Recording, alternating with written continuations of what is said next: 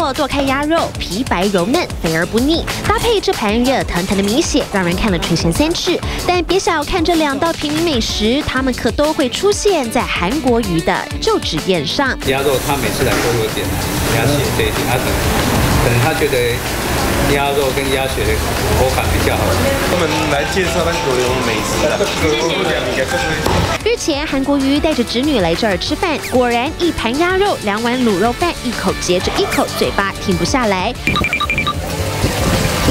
原来盐城区这家鸭肉本是韩国瑜最爱的小吃之一，也因为搭上韩流热潮，生意至少好了一成。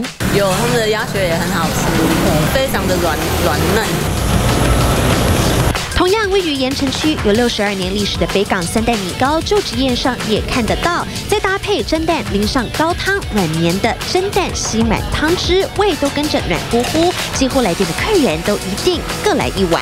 韩市长可能就是云岭云岭的那个女婿，然后我们又是北港，就是云岭，然后就是要符合那个在地的食材，所以说我们就会被选用这个就职宴这样。